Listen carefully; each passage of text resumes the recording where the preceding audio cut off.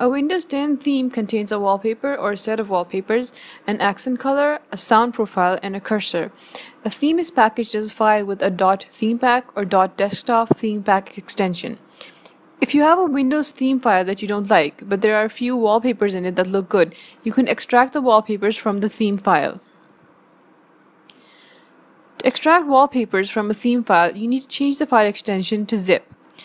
Select the file name select .themepack or .desktop themepack and replace it with .zip.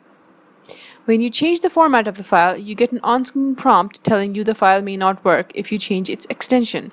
Accept the prompt to change the extension. This will not damage the file or your system in any way. Once you've changed the file extension to zip, you can extract it like any other zipped file. Extract it and open the folder that you extracted it to. There will be a desktop background folder inside the extracted folder. Open it and all the wallpapers featured in the theme pack will be there. You can copy them anywhere you like.